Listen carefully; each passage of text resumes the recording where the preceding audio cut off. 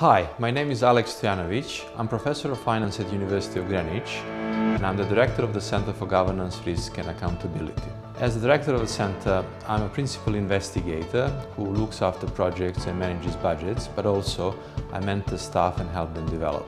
Our center brings together over 25 academics, including five early career researchers and also over 20 PhD students. We organize these two research groups, one in accounting and corporate governance area, led by Dr. Giulio Mandi, and the other in banking and finance, led by Dr. Cesario Mateus.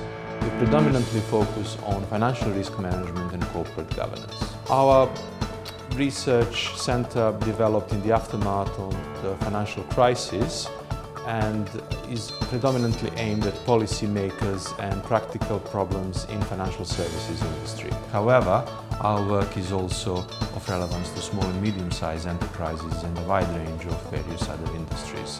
Our work has been utilized by policymakers such as uh, Bank of England, World Bank, also large financial institutions and credit unions. Our next big research agenda is technological development, including artificial intelligence and robotics and their impact on financial services and financial institutions, but more specifically, London as the world financial center.